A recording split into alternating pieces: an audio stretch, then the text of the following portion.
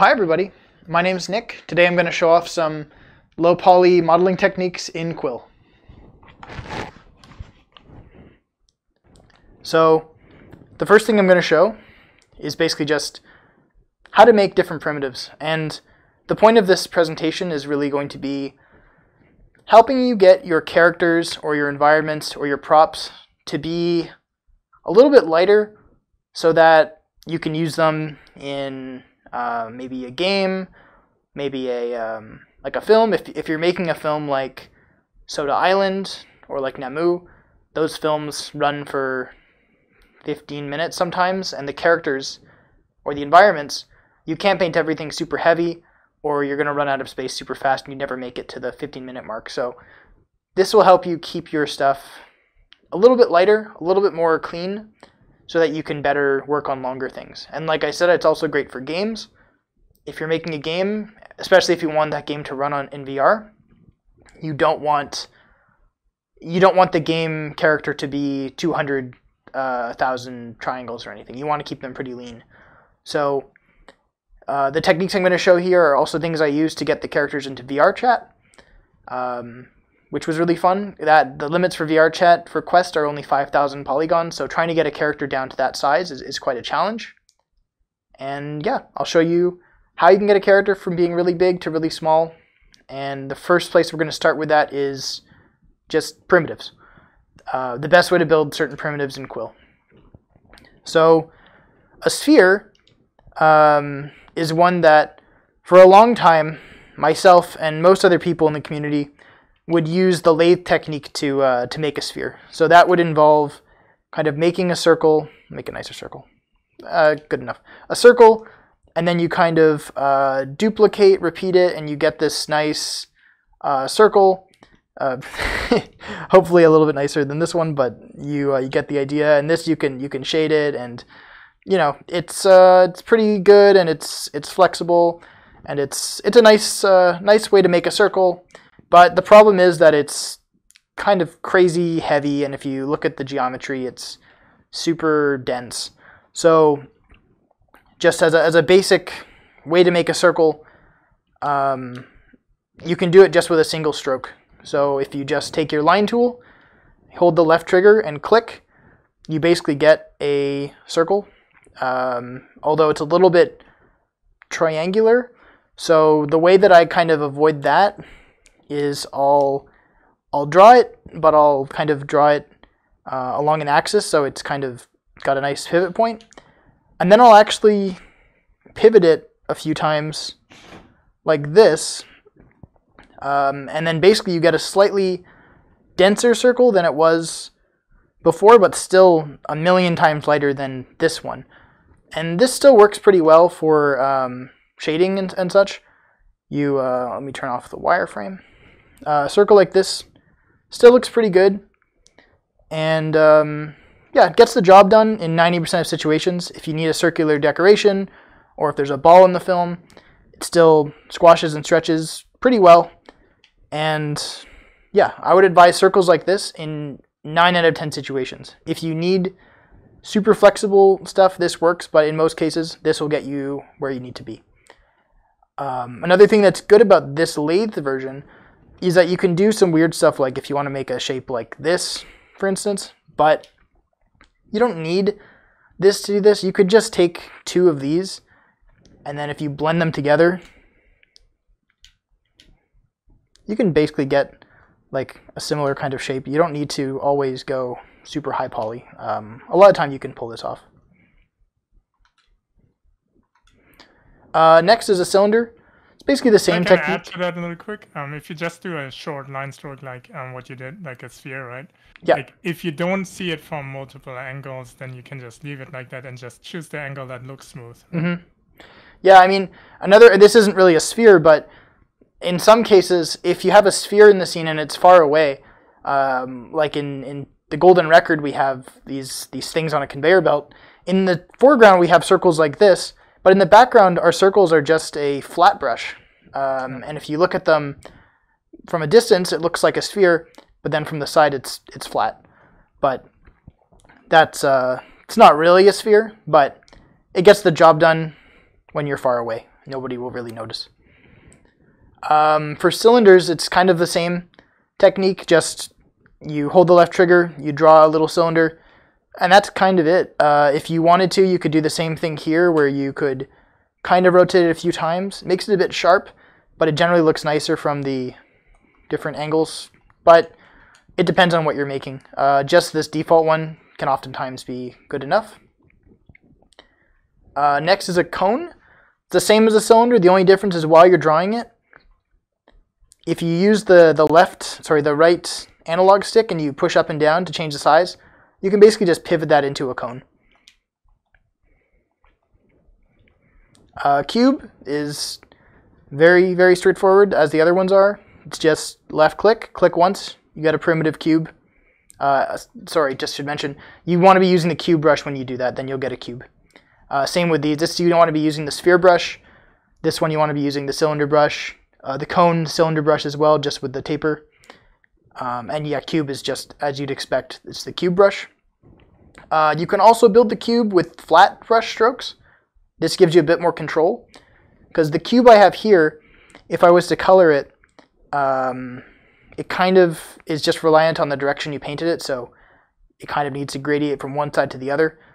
If you wanted to have a low poly cube that is a little bit more flexible, you can kind of create, you can take the ribbon brush create one plane like this, uh, and then I would duplicate rotate this, kind of put it over here,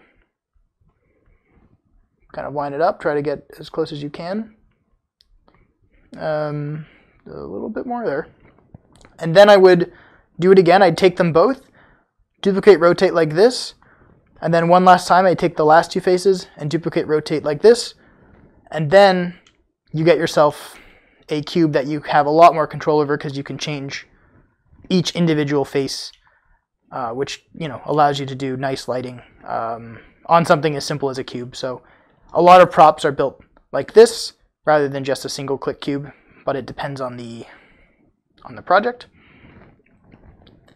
Uh, pyramid, again, it's like the cube. Typically, put your cube down while you're drawing it, and then just use the right analog stick to kind of taper it. So um, if you wanted to give this one some shading, one way that I normally do it is to just grab it, offset it a little bit like this, and then I'll like darken it. And it doesn't work for everything, but in most cases, it's usually usually good enough to get you a, a nice nice little pyramid.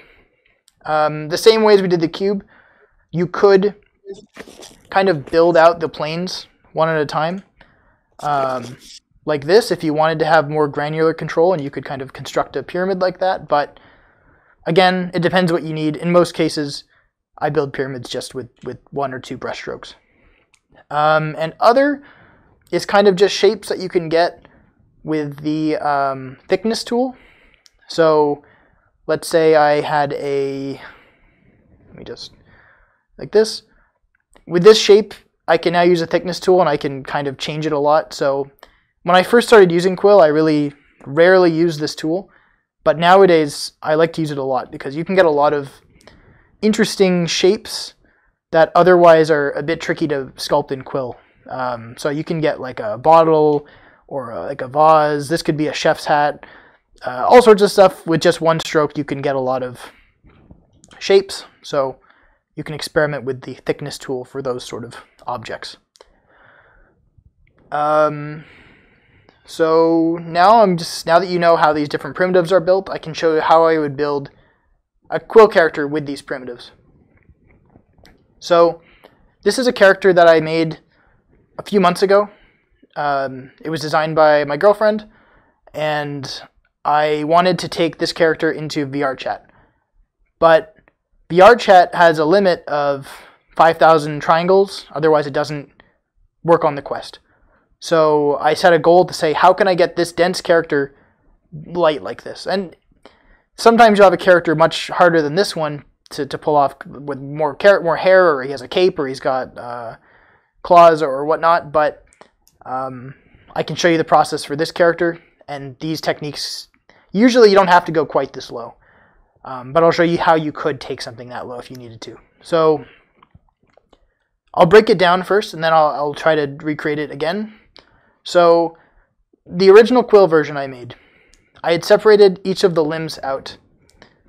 Like the arm, for instance, when I'm working in quill, I like to kind of separate the arms from each other like this because it makes it easy to kind of animate when you're working in quill. Um, I also gave his body a lot of dense mesh, which is which is useful if you want to do a lot of squash and stretch animation, but usually it's not really necessary. Uh, the legs are the same as the arms. They're kind of just two pieces each, and they also have a, a little shadow here. And the head as well is made of these lathe strokes, and it's typically just lots of geometry because there's lots of different pieces. So to build this again but lighter, I'm going to turn off the wireframe for now. I would first start with the, uh, the sphere brush. I would take the head and then I would just hold the left trigger and I would create like a, like a tube and then I would use the other brush to kind of taper it a little bit. So just a tiny bit of taper will give me basically the head shape I'm looking for here. And if you notice the top kind of sticks out a little bit, it's kind of a subtle thing, but I like to take the grab tool and sometimes I'll just kind of try to try to flatten that out just a little bit. From there, I would take the other yellow. Just I like to work with kind of a gradient on my mesh. It makes it easier for me to tell what's going on. You can also turn on the brush grid helper like this, and then you can kind of see. Uh, at this point, if I wasn't going to be working with kind of like I showed before, if I didn't want to go and duplicate it like this to create more mesh, uh, to keep because I'm trying to keep it as light as possible. I'm trying to get it to 5,000. I would actually just take this. I'd make sure it was rotated so that this flat side is facing me. Because if it's not symmetrical, it's going to be a little bit harder to work with. So I'm going to turn it either like this, so this flat side is facing me, or I could turn it like this, so I have two flat sides facing me. Either way, as long as it's symmetrical, it'll make it easier to uh, to work with going forward. So I might keep it like this, uh, just so you can see it clear. So I have an equal left and right side. Um, now I'm going to kind of start sculpting with this one shape. So I would bring the bottom up a bit more so it's kind of at the same level. I, I can again kind of flatten this. And then if I want to kind of get that that kind of bounce or, or edge of the bottom, I can use the thicken tool to kind of expand it a bit. So just with one sphere, I was able to get pretty close to the original head shape. Uh, and from there, I can start to add more details. So the eyes, I would do just with a rounded ribbon. I would probably just color pick it, and then I would just kind of draw a single line. And then again, I'll use a thicken tool to kind of round it from the center. I kind of, I'm going to compare. Pretty good, so then I can put some eyes. I'll fine tune this later. I might actually take the whole head and use the thin tool on it because it's a little bit um, a little bit wide. Uh, then I'll just take, okay, we got this nose shadow. I can do maybe like this, maybe color pick the black. And then sometimes to get shapes, I'll actually just use a single stroke and I'll just use the color tool to kind of make it seem separate. In this case, I might still have to use another stroke because I want to get that rounded kind of dog nose top. So maybe like this, and then maybe I can use the thin tool on the bottom part and kind of get it nice and uh, nice and thin. So um, comparing it, the size is a bit off. I'll kind of scale it like this. I'll bring this down with the thicken tool, but that's pretty close. So if I'm to put that over here, can you rotate it to the side a little quick to yeah. see the profile? Yeah. So it's in flat. this case, yeah, it's flattened. Um, if you want to check out this other version I made, I made the nose a bit more complicated here. I used kind of a triangle, a flat piece. Um, you could give this more thickness if you wanted to use something like the capped ellipse brush here, because this one has a bit of depth. Um, again, it really depends on what you're doing. This is me trying to get it as low poly as I can without losing too much of the original design. Um, if you weren't going for Quest or you weren't going to 5K, if your goal was 10K, you know, maybe you could you could afford to use a few more um, like 3D brushes, for instance. but it depends on your on your target really. So the eyebrows, I'm just going to do. You can draw them. I usually turn off the the press whenever I'm drawing things, and I kind of just use the thick and thick to to adjust at the end. But you can either draw the eyebrows or you can draw one out as kind of a line, and then using your grab tool, you could um, kind of just shape it. And then I'll usually take an eyebrow and I'll, I'll duplicate it and I'll flip it, and that will usually get me the other eyebrow. Alternatively, you can do a whole left side first, and then you can just flip the entire thing afterwards, and then you have a nice symmetrical model. Uh, for the ears, I'll do the same thing. I'm just going to use this, uh, this kind of sort semi-thick brush. I'll use those like this, and then I'll offset it a bit, pick the orange, so then we have two kind of colors. I'll duplicate that too. And his head is still looking a little bit thick, so I'm just going to thin it again.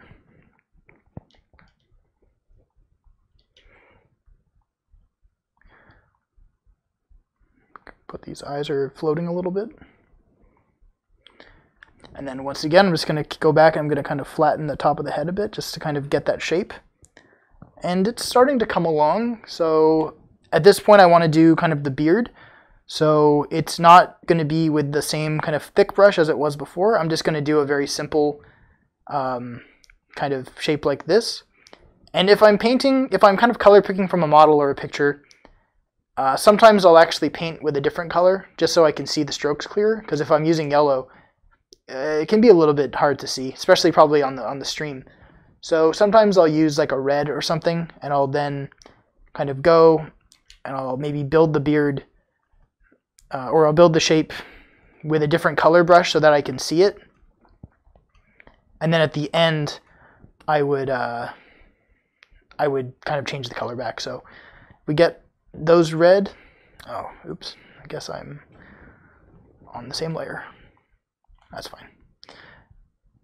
Um, but yeah, I would generally work like this. I would take the pieces like that, and then maybe I would throw it back over here,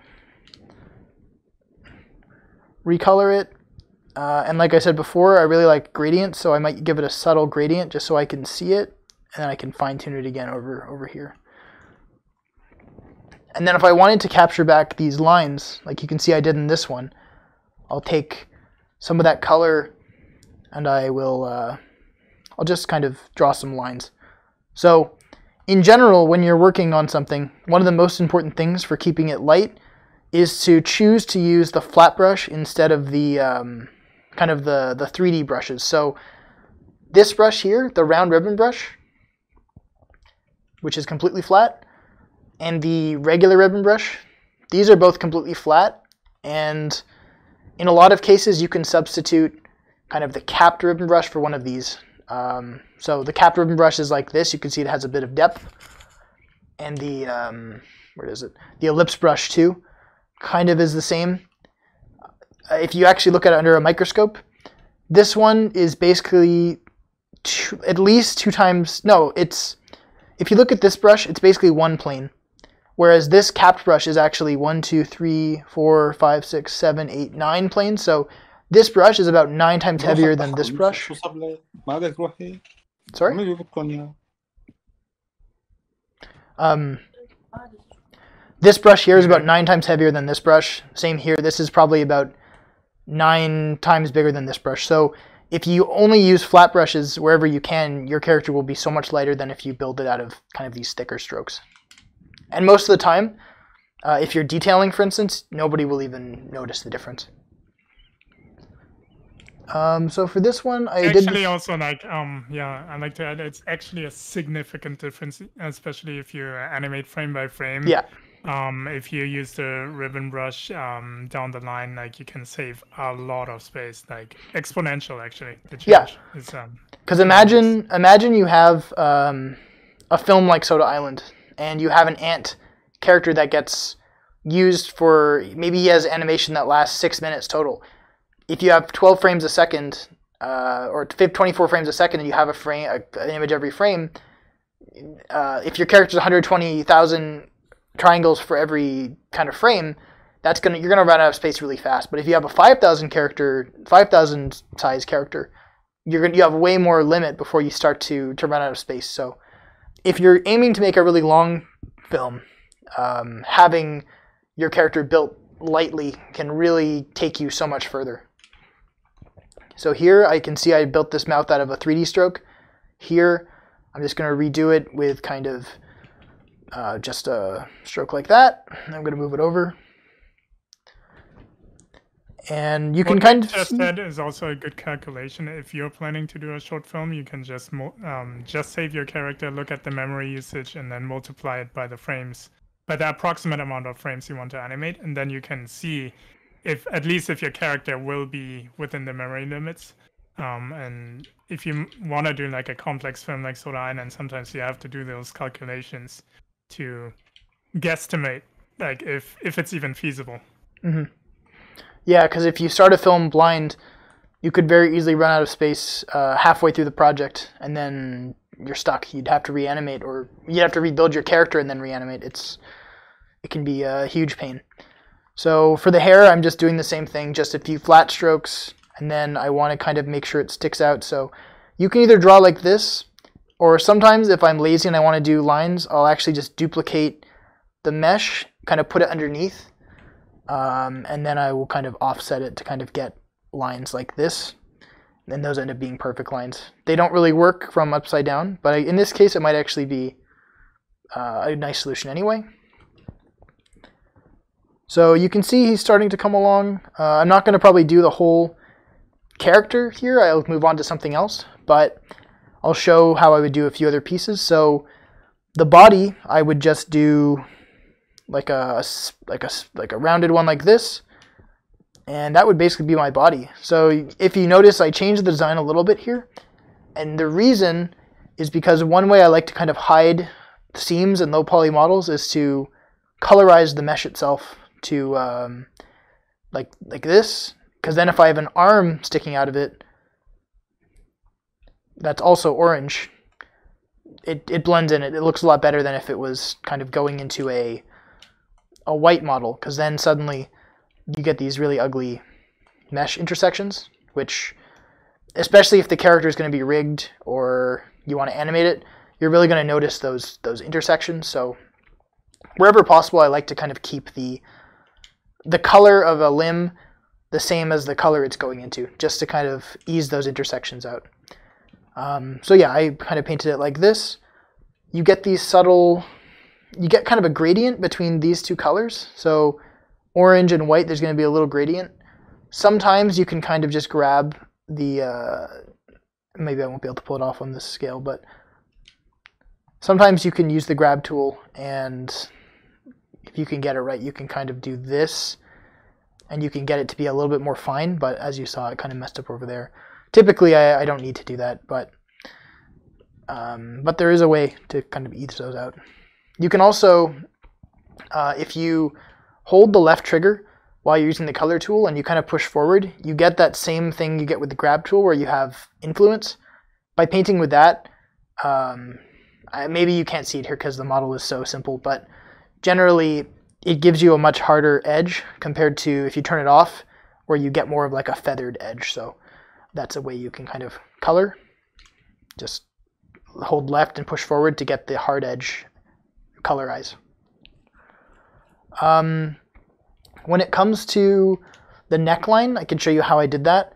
That was just a um, it was just a tube, like a single drawing, kind of like a necklace, and then I kind of just hit a little triangle in there to kind of blend in. So that could have been the same yellow as uh, as the the skin, for instance, and you wouldn't really notice that there was. I mean, maybe you notice from certain angles, but generally you wouldn't be able to tell. Um, something else that I learned while I was kind of trying to get low enough for for VR chat was um, having the arms like this was basically twice as heavy as the arms I ended up with here. So these arms are just single stroke. So just one tube. And to make those arms, I just go and I make a tube like this, and then I will kind of taper it at the end to kind of be a shape like this. And then, uh, because this character was going to be rigged, uh, I wanted to kind of give, I wanted to use the opacity tool to kind of reduce the geometry on it, but not kind of reduce the geometry in the center. So if you take the tool here, uh, the optimize tool, you can just brush over something like this, but you'll see that it automatically tries to favor the ends. It wants to keep the geometry kind of as is. So this is terrible if you want to try to rig it. You would never be able to bend those elbow. So you can kind of do it. You can't even really do it manually because if you just paint it at all, even at the top, it kind of goes along the whole stroke, which is not ideal. You, from the bottom, it seems to work a bit better, but generally speaking, doesn't work. So I'm going to use Quill's ability to kind of try to retain shape to my advantage so I can get these these kind of arm seams. So to do this, I will take another color. I'll take like a green, let's say, and I'll just color this area. I'll reduce it. I'll just put a green gradient. And then, if I do this, you'll see it leaves geometry in the middle because it it doesn't want to flatten that green out. Um, because the way that Quill does color is it puts at each vertice, kind of it says, okay, this vertice is green, this vertice is green, this vertice is red, this vertice is kind of in between. So if you have that information, Quill will try to save it. If, like I had before, where there is no information, it's all red, it can just get baked, and it looks fine uh, if you didn't have any other use for it. But if you wanted to leave it, um, that's just a, a nice little pro tip that you can reduce it without completely annihilating your uh, your seams. And so now if I was to put this into a, if I was to rig this, I can still bend it, see? There's still the geometry I need, but I, I don't have the stuff in between, which is wasteful. Um, and this isn't really useful if you're doing a quill animation. Uh, if you're doing a quill animation, I would still separate it like this because it's a lot easier to to kind of um, grab this versus grabbing this. Uh, and it, you could animate in quill with this, but my personal workflow I prefer being able to grab the individual pieces. But if you want to give it a skeleton in another program or a game, this is the best way to do it. Um, there's not much else to show. I did the exact same thing for the legs. Uh, as you can see, I have kind of the top and bottom just with a an area where I can put a skeletal bend. And did you show the fall off for the colorize tool? Some people might not know that yep. you can make the colorized edge very sharp. Yep, I will show that. So if you have uh, your your your shape and you want to colorize it, you can take whatever color you'd like. And if you're in the colorize tool, uh, by default, it's going to be like this. So if you draw, it kind of has a subtle gradient and you can kind of build up color. But if you hold the left trigger and then push forward, it's kind of as if you were changing brush size, it will now create this circle within the circle. And now if you try to color it, it will basically give the full uh, intensity uh, everywhere. So if you wanted to more accurately create some some variance when you before you optimize, you could maybe do this. And then if I was to optimize it to the max, I would basically get. And now let me just recolor it to the original color. So now I get those those hard edge areas that are still separated. And I think this also works with if I draw a stroke and I say bulge it out in the middle with the thicken tool, and then I optimize this, it'll kind of try to keep that shape so it doesn't look different from a distance. And so yeah, you can kind of influence how the optimize tool works a little bit if you um, if you kind of put information in different areas. So these characters like this, if I was to optimize, like let's say midway and optimize all, you can see this character does get more optimized. He's probably not 120,000 anymore, but he's still got so much information that's really not necessary. Uh, whereas you can get a character like this, which is completely clean. Um, and if you wanted to optimize it a lot, you'll see like sometimes things will change, like the eyes. So if that was a problem, either optimize it less or maybe at the very end you can go back and kind of re redo those those missing strokes that kind of got destroyed. Um, but this guy now is he's actually 4.4 thousand. He he basically got shaved off with 600, but the areas where I lost information, uh, I don't I don't want him to be this low. I want that information here. I want that information here. I want the eyes. So 5,000 is perfect for this character. Um, I'm going to show a few other characters. So I created this set of characters the same way. So this is the original, where it's pretty heavy, and I didn't know if I'd be able to get this guy low enough because he's got these wings and he's got this tail and he's got all these complicated things. So to reduce it, um, again, his head is just one big tube stroke. His body is a stroke. These legs are kind of uh, a couple simple strokes. And then for the wing, it's a similar technique where I kind of put color here so I didn't get optimized. Um, the fingers, I actually did the same thing with them. I kind of put a color here, here, and here so that the finger can have like a proper bend in it for like bones. Um, which actually looks really great in VRChat. Uh, he worked out really well. Um, I chose to make the hair, it used to be tubes. I remade the hair as kind of flat strokes, and it, it generally looks pretty nice. Uh, and the beak was made just with a, hold on, just gotta make a layer. The beak is just a tapered thing like this that I then kind of bent into the shape I needed, optimized it, and then once it's optimized, you actually can have some fun with the vertices because you can kind of move them around. So you can actually kind of sculpt a little bit at the end or kind of do some low poly modeling just by moving the vertices, which is hard to do when the when the model is this dense because you can do it, but you don't get that fine control. So you often get like um, you know kind of a bumpy, ugly mesh. But once it's so low, you can actually do pretty well. The only thing to keep in mind is that um, you can kind of bend them, but only in the direction of the original stroke. So I can't necessarily take. I mean, you, you can get away with quite a bit, but it's still. It's not. It's not. You can't grab this vertice specifically and pull that out. You're not modeling the vertices. You're kind of and you're modeling the um, the ring almost or the edge loops. So you can move the edge loops around, but you can't move like Imagine it as a curve, extruded curve. That's probably the yeah easiest analogy. You know, you're Yeah. modifying a curve for the surfaces. Yeah, so if you were to take into another software and kind of look at the curves, um, you'd basically be pulling out a shape like this, and then it would basically be creating edge loops around it, which is kind of what you see here. And then if you move this line, if you move the line like this, it's moving the kind of this piece. So that's kind of how it's working, uh, which is why you can't grab like a single vertice and move it because it's all coming, like Goro said, from a curve.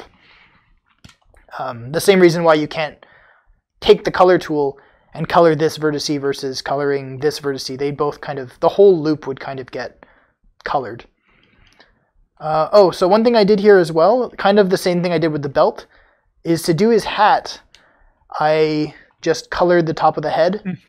and then I kind of just put the, uh, like a, it's just a single stroke drawn in a circle like this that I kind of placed uh, over here, and that gives the right impression that he has a hat on, even though it's technically just his head.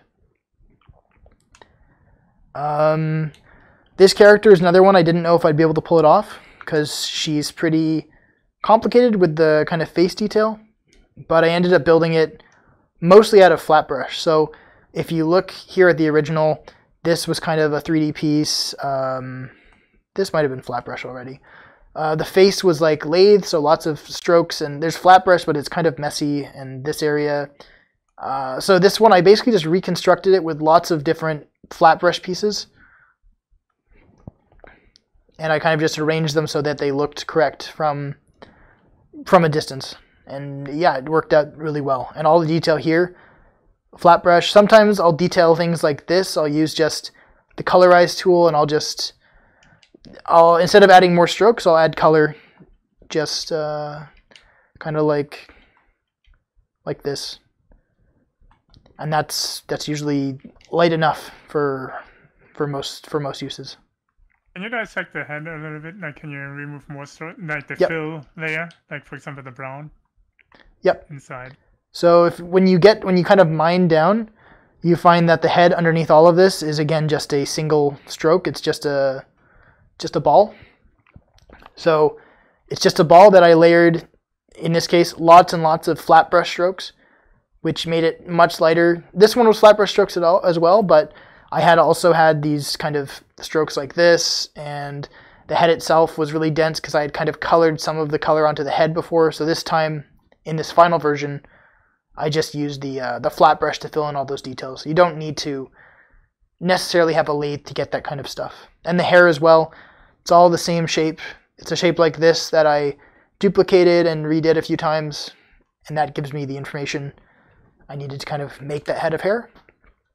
Um, who is next? It's Alice here. So this character I actually had to change from the original because doing a plaid overcoat shirt just wouldn't really work in Quill because, or you can do it in Quill because I did it here, but doing it and keeping it under 5,000 polygons was basically not going to be possible, at least not in the way that I had been working. So um, just there's too much detail, too much texture, and keeping it in just a few strokes and having it work and have sleeves would have been too much. So you can see I simplified this character um, more than the others. I didn't keep them quite as true to the original, but I also wanted this character to have a prop, and that was a kind of a mandolin instrument. And the props in VR chat count towards your total player vertice count. So the mandolin's about 1,000. So I was already working with a character that I, I could only bring down to 4,000 to get them both together into VR chat. So, uh, but generally you can see here, same technique. I made the tail, uh, and then when it was low poly, I was able to more easily kind of manipulate the shapes and use the color tool to kind of separate the different oranges. Uh, other than that, it's basically the same as the other characters. The head was a bit more complex. I I couldn't just recolor it because I needed these kind of hard edges, which can be pretty tricky in Quill. So I built that out of lots of, uh, again, lots of flat brush strokes. So you can see if I kind of delete these. I started off with just a cone that had kind of two colors, and then with the flat brush, I added in the detail to kind of um, fill in the, that information that I needed. So maybe a flat brush stroke like like this, and then maybe uh, I taper this, and with a few strokes, you can get the look that you're looking for um, a lot of the time.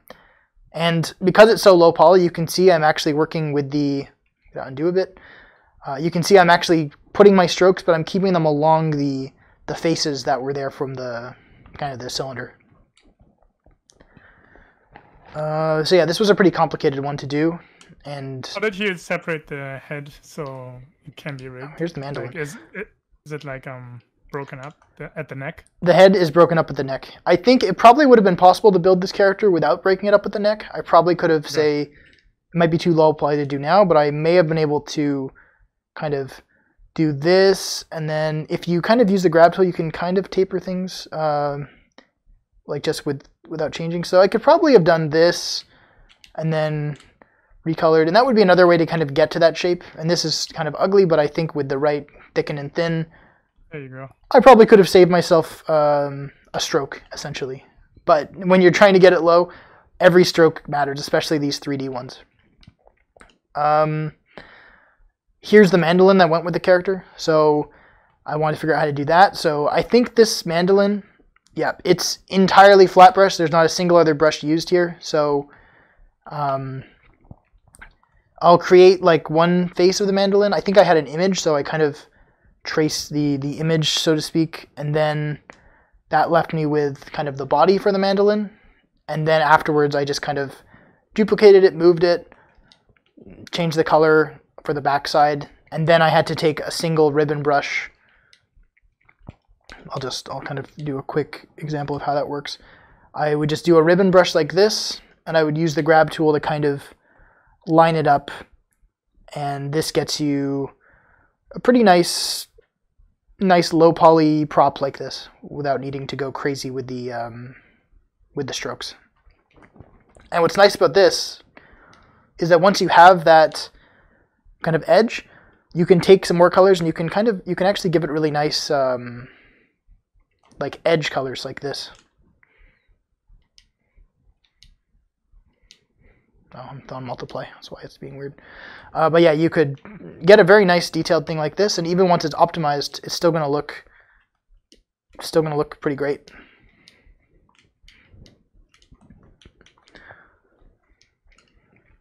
So I have another thing in here. This is from Golden Record. This is just to show that because we had a lot of ants in our film. This wasn't the main character, and this was a kind of a background ant. And for the background ants, they were completely flat um, because, or they're not completely flat. I actually kept the legs and the um, the arms thick because they kind of looked.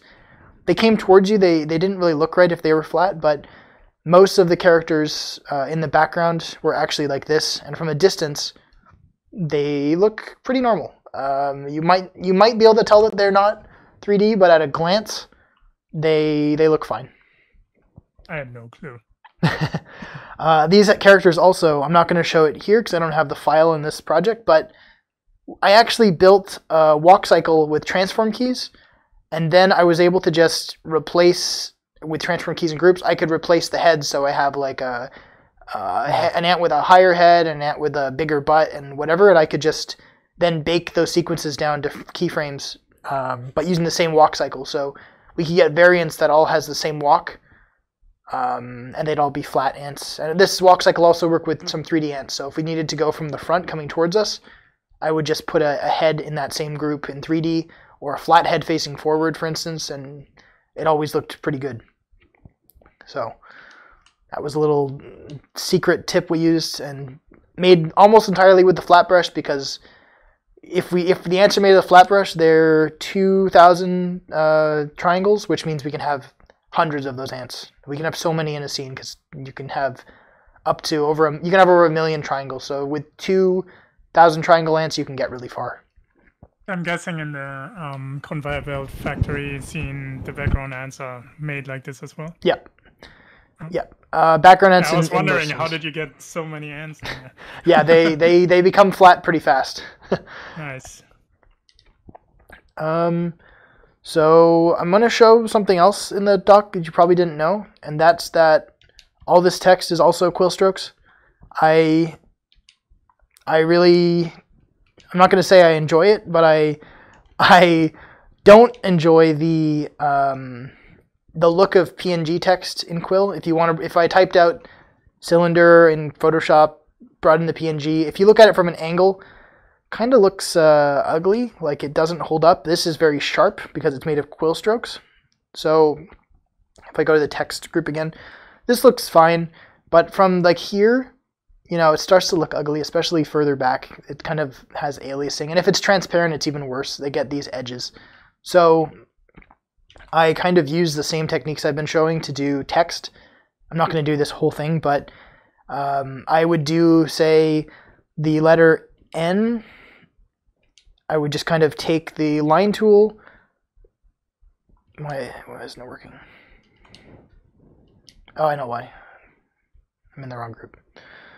Um, yeah, if I went here, I would do the N, so I'd probably do a line like this, do a line like this, and then I would actually kind of bring it around. And you can see I'm using orange, and that's so that I can see it clearer. Otherwise, it's it's pretty hard to um, to work on stuff like this.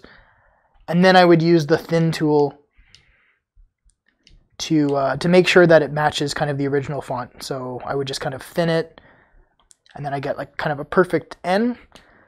And then for other letters like the M, you can actually take the original letter you just made uh, sometimes, and you can then kind of copy that. And I would want to make sure that these tails are kind of moved with the grab tool.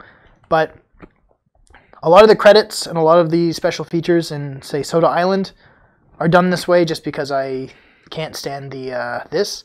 And in fact, it's actually a lot lighter. So it's kind of crazy that, that these films are so nitty gritty that you need to do this. But if we were to use PNGs for the for the credits, it would take up a significant amount of the film. That would mean that we would have to cut out character animation. So if you build it out of quill strokes, it's going to be about a hundred times lighter, which is uh, which is crazy. But we really want to push, we really want to squeeze all the all the uh, all we can out of the quest when we make those films. So we uh, we use Quill text a lot of the time. Um, once I have an alphabet, it's pretty easy to kind of. I'll show it again here. Um, it's pretty easy to just kind of grab letters and um, kind of just re- remake new words. Um, so I could go like like middle, and I could make sure that's level. But you kind of need to make sure that the kerning and stuff is right. So usually I'll bring in an image anyway as kind of reference for how the text should look. But you can pretty quickly make words once you have an alphabet built. Um, now I'm just going to show some props. So these are props that I didn't design. These are designed by an artist named Alex, or he goes by Zadig. And I'm just going to show how I would build some props like this so that they're not necessarily going to be the lowest poly. Then I'm not going to try to get them down to 5,000 or, or anything, but just to show how I would build it using kind of these techniques. Um, so I'm going to start with the, the hammer. And so I would kind of start with a cube. I might taper the, the cube a bit because you can kind of see that this part is tapered at the end. Then I would take the grab tool, I would kind of try to get it into that general shape. And then I want it to be a little bit thicker, but if I use the thicken tool, it's going to get thicker in every direction. It's kind of going to make a weird balloon shape. So to keep it kind of square, I'm just going to duplicate it kind of sideways. So then I get a bit wider of a rectangle like this. Then I would take this kind of gray, I would maybe color here a little bit. You can see there's a bit of Z fighting because these layers are on top of each other, but because they're the same color, with the wireframe turned off, you can't tell. It doesn't really matter. Um, so then if I wanted to be really specific, I can see that it's kind of rounded on the top, but flat on the bottom. So I would probably try to um, create a stroke like this. Maybe like that would be a slightly more accurate shape, but that's getting pretty specific. Uh, another way you could build this if you wanted to, or maybe I could build it on top of this, would be to just kind of take those original colors and then you could use the, the flat brush to kind of detail it like this. So now I have the kind of the shadow side. And then maybe I want this top, there's kind of like a rounded shape. So to do that, I would create just a flat round. I'd put it uh, in place. And then you'll be like, oh, well, it's kind of ugly. I would just take the eraser and I would kind of hide the hide the top. If you do things with the eraser, you have to be a little bit careful because Although you can't see this, if you take the, the selection tool, you can still grab it sometimes. So just be a bit careful that it might, if you're trying to grab something above, like say you have something here, you might grab this piece by accident even though you don't touch it. Um, so then yeah, I'll just do a few more details. So I would use flat brush again. I use flat brush for all the detailing just because it's, uh, it's the lightest and usually anything more is overkill and it will make your scenes heavy for, for no reason. So this too, I will just add like this to get that lighting. Shadow side here. And that's pretty good. And then this piece is just going to be, I'm going to combine a few shapes here. So this looks like a kind of a like a elongated cylinder. So I'm going to make a, a single cylinder I'm going to duplicate it over like this, and then I'm just going to make a kind of a rectangle that, let me try to get the size just right, uh, close enough, like this, and then I'll, I'll maybe offset just to get a bit of color variance so I can see it. That's just a bit too much. Um, like this, and then this piece I can slot in um, it looks looks pretty good. Uh, if anybody has any questions while I'm doing this, you can, just because it's going to be um, just constructing this hammer. But if not, it's fine too. So here, I'm just gonna, I see it's a bit thicker here, I'll use the thicken tool.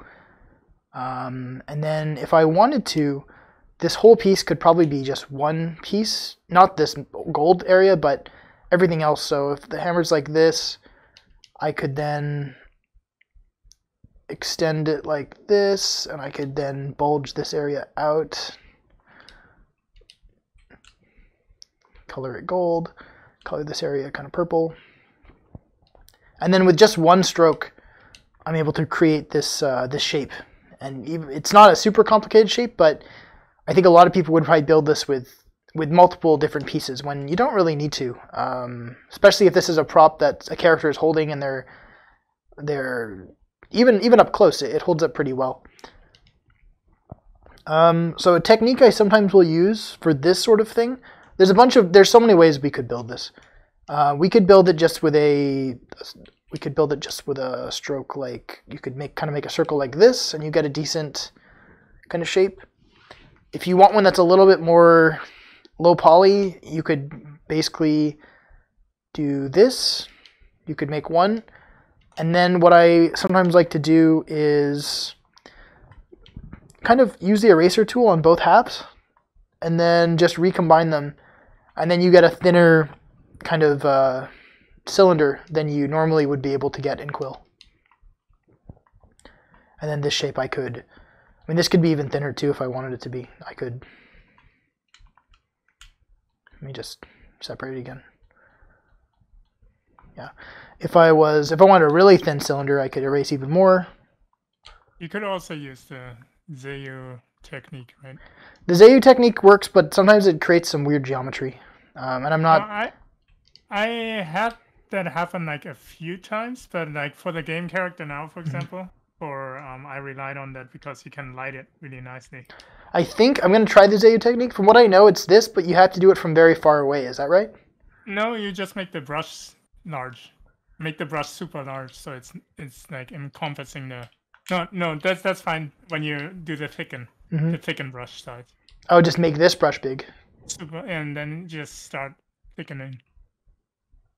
Yeah. So that's another way you could get the same shape.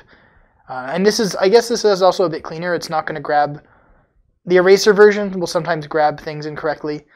Um, the only real you- advantage when the other one this- has. Yeah, when you make this smaller now, uh, scale it down. Oops.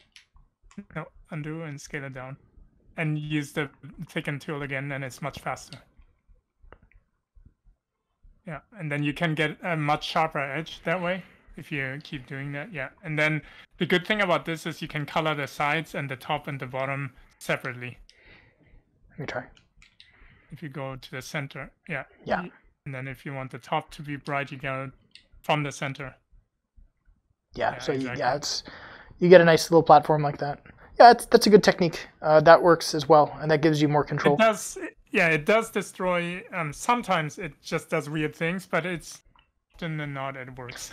I think we found that when we were making one of the Soda Island episodes, we were trying this, and I think those areas that we'd done this didn't work on Quest in some cases. But I don't know if that's changed. It's been a long time since we did that. Um, I'm not sure if Felix is still in the call, but he would know if we're still using this technique. I, I don't usually use this. He, he might. yeah, I noticed that the top face sometimes um gets angled weird, you know, so it looks kind of like broken. But um, yeah, so far. Most of the times it looked okay. I think it had something to do with precision as well, with bounding boxes and stuff like that. That this brush, this trick doesn't really like larger-ish bounding boxes. I don't know. But it's a, it's a really good way to do low poly models. Like for my Unit 7, I use this technique a lot. I actually have a, a little thing that I like to do personally. It's it's me sneaky. Um, like I'll like to optimize it the moment you make the brush shape, and and then you start working from that point so that the thickness generates from like lesser subdivisions, and then you get like this really clean box out of it. Like it's the bevel basically kind of goes away, but you still get to color it a little bit. It's it's it's tougher though. It's a little tougher to work with, like color wise, but it's still, still kind of you know it covers some bases with it. Yeah, totally. And make that that little um flat piece you made, you see that it's like a black black border, the one on the right. Oh, one that's yes. It's because the geometry is so Uh, dense. y- Yeah, exactly. If that was optimized, you can can you optimize at maximum? Yep. Yeah, you get like the super clean shape that you can work with. Pretty nice. Yeah, that's a that's a good this one. This also works for this also works for um the cube and stuff if you want to have a plat flat, flat platform. Like for example, the bottom of the hammer. If you want that to be with a cube brush, you could also do like a little cube stroke and do the same thing. Mm. Yeah, I can try that in a second actually. So here I'm just gonna use just to get the kind of you see this lighting on the edge of this piece of gold or brass. I just you can't get that with the the current piece, so I'm just kind of adding a, a line brush so that I can do kind of what I did with the mandolin earlier, and I can just uh, take the highlight, kind of color it, take the gold. I'll just you can kind of just add those kind of highlights to a piece like that, and it makes it, it works really well for metal, especially. But any edge that you had that you needed to kind of detail works works super well. Um, and yeah, let me try the thing with the square brush. So if I make my cube and then make it huge, uh, no, make it bigger, not not smaller. Yeah. So now I can then, now that it's small, I can. You make it bigger or smaller at this point? Bigger, right? Yeah. Well, yeah, yeah, yeah, exactly. Like, eh, well, the thing is, like, it's relative to the scale of the brushstroke. So Mm-hmm. e- even if you make like um a very low res cube, right, like a small one, then you get a stronger bevel, if that makes sense, because you start with a lower res model. If you make a big brush stroke, you get like super sharp, sharp edges. So let me just try this. The if I wanted to be a rectangular, I guess I would just do this, and it would basically Exactly. be fine for for most cases. Yeah, I could. It's not gonna fit because I wasn't. Oh no, it's almost. It's pretty good. Um, but yeah, I mean, I could. But yeah, another method, right? Another. Yeah, it's another method to get shapes, um, and the more ways you have to make shapes, the more things you can create here. So uh, I'm just going to show for something like this, if I wanted to give it that, I'm not going to give it a perfect gradient along the shape. I could if I was to, to build it a different way, but I'm just going to use kind of, I'm going to just kind of cel shade it with a, um, a ribbon brush this time. Just going to kind of do this. And then I could do the same for kind of the dark area. I could just kind of do this. And that's that's generally all you need. Just a little bit of detailing with the oops, make sure you don't grab the wrong stuff. A bit of detailing with the um, ribbon brush usually goes a long way. Um, here I can see there's a bit more kind of a shape down here. I'm just gonna add like a single stroke for that. Maybe gonna, gonna extend this. Uh, I believe that this is an area where I can probably remove this gradient if I just take that loop and just move it closer like this. Uh, and then I could also move the edge loops to kind of recreate that smoothness. But that gradient is now a lot less noticeable than it was before. Um, I would probably want to take this whole piece, duplicate it down a little bit, and then add a shadow across the whole thing with the multiply tool. And that just looks nice. It just gives it more depth without making it, without going crazy. You're only adding one more brush stroke to do that. Um, for this, it's just going to be a sphere, and then I'll I'll do what I did before. I'll just kind of do that a couple times.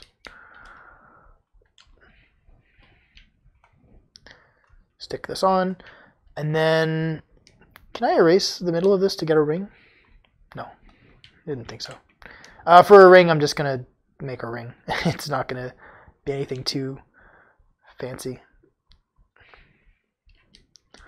The best thing about Quill is that you can kind of fix your problems at the end with the grab tool. You don't have to make a perfect circle on your first try. You can if you're really good. So that's good enough for me as a ring. So I would just kind of, uh, I would just kind of attach it like this. And yeah, that's that's how I would make a weapon like that. and you could continue to go in in detail if you wanted. So if I was to do that, I would take the kind of the do this, and maybe I want to have a like a little bevel kind of on the edge. So I just take a, a brush stroke like this and just of go like that, like this.